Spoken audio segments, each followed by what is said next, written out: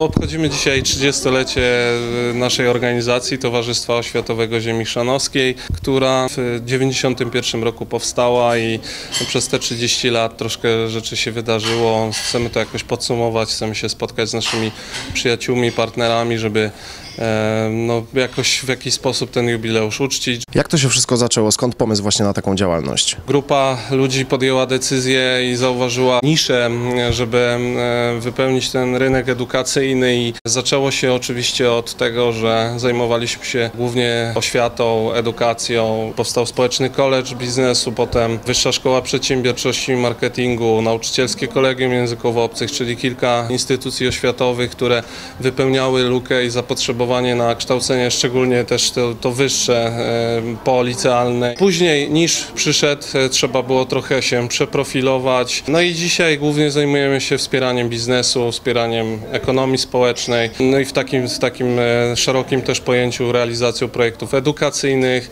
też dla młodzieży, trochę dla, dla dorosłych.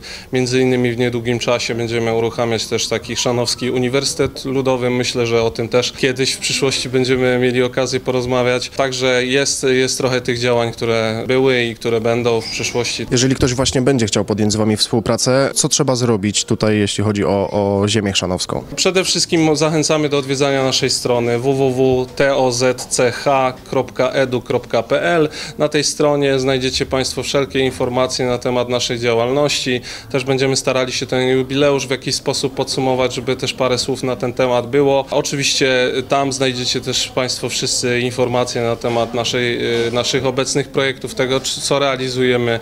Mamy działania aktywizacyjne dla osób niepracujących. W ciągu 30 lat działalności otrzymaliście też wiele nagród, wyróżnień. Z tych nagród najcenniejsze są oczywiście kryształy soli, to jest nagroda marszałka województwa małopolskiego, e, udzielana co roku i dwukrotnie byliśmy głównym laureatem tej nagrody. Raz właśnie z racji tej działalności edukacyjnej, oświatowej, to właśnie w kategorii edukacja i nauka, to był 2008 rok, e, docenienie jakby naszych starań jako organizacji pozarządowej, która wypełniła tą lukę edukacyjną.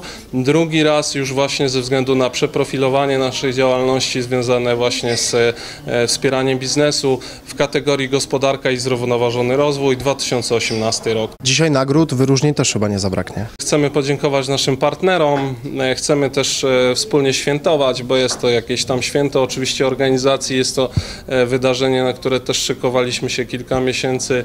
E, Pandemia je trochę przesunęła, no ale i też te różne obostrzenia, nie wiadomo było jak się, jak się zachować, no ale w tym momencie już podjęliśmy decyzję, że to jest ten moment, że trzeba skorzystać z tego ostatniego, być może momentu na, przed jakimś czwartym, być może lockdownem, e, więc e, stwierdziliśmy, że to jest ten moment i, i między innymi właśnie z racji takiej, że, że, że już jest po, okres powakacyjny, to jest ten dobry czas, żeby się spotkać, podsumować, wypić pewnie też lampkę szampana, e, no i pewnie życzyć kolejnych lat, być może kolejnych 30, być może więcej.